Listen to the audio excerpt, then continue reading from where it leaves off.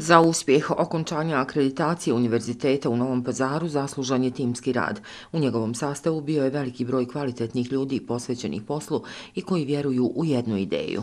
Sama verifikacija jeste nas raduje, ali sam kraj akreditacije, početak novog ciklusa, tako da treba ovo gledati dinamično. Već razmišljamo o novim studijskim programima, kako prilagoditi studijske programe, šta su potrebe tržišta, šta su želje studenta, budućih studenta, tako da pratimo jer živimo u jednom svijetu koji svakog dana se menja, nove tehnologije dolaze, različite situacije u svijetu se menjaju, tako da ovaj, pratimo to, gledamo kako programe da aktualizujemo, da unaprijedimo.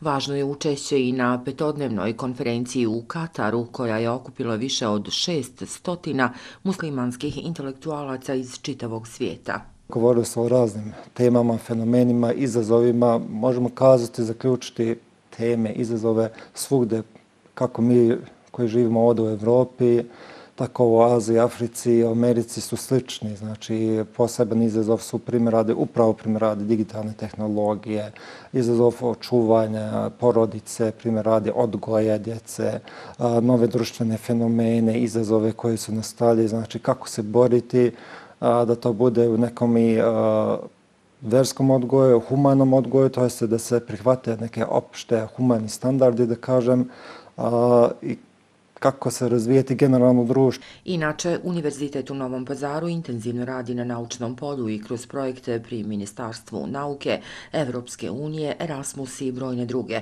Univerzitet se ističe već pokazao kao institucija kvalitetnog obrazovanja i sve više dokazuje kao naučna ustanova.